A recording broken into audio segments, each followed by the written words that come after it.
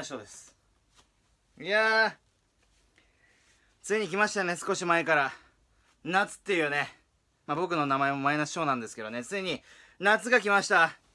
まあ夏が来たということでやっぱそうですね。夏っていうのはこう何もしたくないようなね気持ちになりますよね。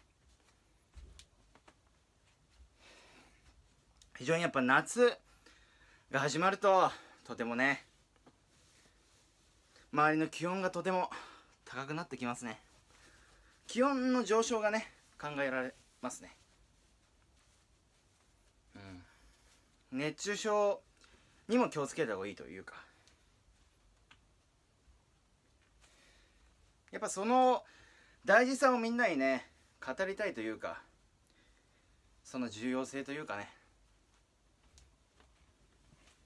それをこうこの動画を見ることによって勉強になるというかね非常にとても勉強にもなる動画ということでみんなに共有してるんですけどね自分がね。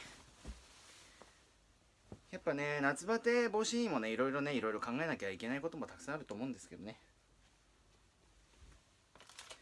非常にまあ夏はねいろいろ楽しいね。夏は結構楽しいことがね結構あるんでね。気をつけながら。まあ一生懸命ね気をつけながら一生懸命ね気をつけながら皆さんにね夏を過ごしていってもらいたいとね僕は思ってるんで。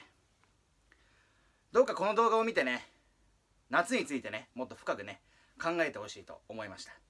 それではねまた次の動画でお会いしましょう。お疲れ様です。